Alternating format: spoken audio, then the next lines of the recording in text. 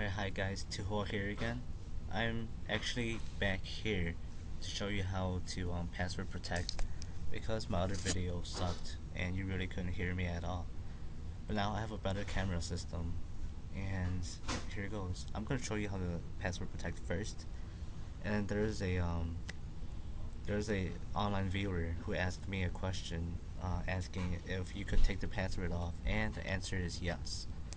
It's really simple, and I'm going to show you guys step to step how to do it, and what what uh what you should do, and some things that you shouldn't want that ah some things you wouldn't want to do. Okay, so first, here's how you password protect. I made a sample folder here already. Make it simple. Okay, so you click on that, and I made a folder in here too. What you want to do first is uh, make a folder. Any any folder would do. Any name would do. And next you want to make a folder inside that that main folder that you made called sample or, or whatever and then put the things you want in here. For example I'll put my uh, my puppy's pictures in there. And then I renamed it as something else. That's what you want to do. When you have your root folder inside the main folder you want to name it something else so that when you extract the file it won't uh, it won't uh, save over your main folder. So that's what so that's that's why you want it as a different name so here it goes. Um, by now you should have uh, you should have downloaded 7-zip already. And when you do you'll get an option here called 7-zip and it should have uh, an arrow. Highlight that. Go to uh, an archive and add it to the archive. And a screen like this should pop up called add to archive. And up here is the name all of these other stuff here. But the three main things on here are uh, uh, the archive format, the password, and encryption method. First time, the first time you download 7-zip, it will be on 7z. When, it's uh, on there, I want you to change it to zip uh, file extension and put in the password, which anything that you wanna. But just try to remember it, and then this will be on AES 256 the first time you download 7-zip and I'm gonna want you to or I mean you're gonna need it to change it to ZipCrypto.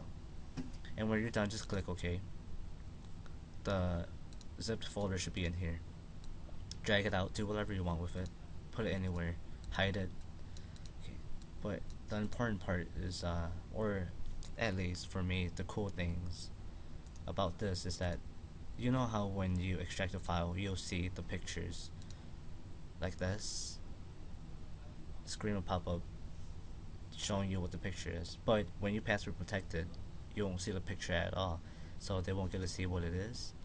And if they can't figure out the password then it's too bad for them. It's, gonna block them for uh, opening that file or downloading it to uh, their their hard drive or whatever and then another cool part about um, uh, 7-zip protecting your files by passwords is that when you try to enter, they won't get anything at all. They won't see anything. They'll just get two empty folders. so yeah, and now I'm gonna show you how to get rid of the password. Okay, so you're in the zipped file, and anywhere on the folder, as long as it's a white spot dot line dash invincible on the screen. Right click on it. And there should be an option saying remove password. And you see this? And if you re remember your password put it down. Click OK or push enter when you're done. And it should refresh itself. And when you uh, go inside the, the, the pictures are still um, undefined and you won't be able to see them but if you click on them you you'll be able to see it and view them and yep that's basically how you put password on and remove them. Well this has been an episode of Touhoua. Thanks for watching and rate comment subscribe do whatever. Thanks for watching and see you guys another day. Goodbye